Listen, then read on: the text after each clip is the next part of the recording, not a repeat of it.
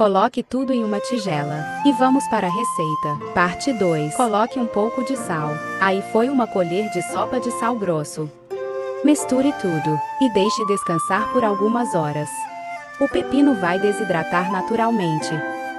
E vai sair muita água. Observe. Retire o excesso de líquido e separe. Coloque um pouco de vinagre. Aí usei de maçã, mas pode ser de arroz ou de vinho também. O de sua preferência. Agora o meu toque final. Coloquei uma colher de farinha de moringa. Assista o vídeo de como fazer a farinha aqui no canal. Está pronto. É só saborear essa maravilha. Pode ser usada como acompanhamento de saladas e diversos pratos. Ou mesmo comido assim como um delicioso, saboroso e saudável petisco. É rico em vitaminas, minerais e muitos antioxidantes importantes para nossa saúde. Bom apetite! Oh,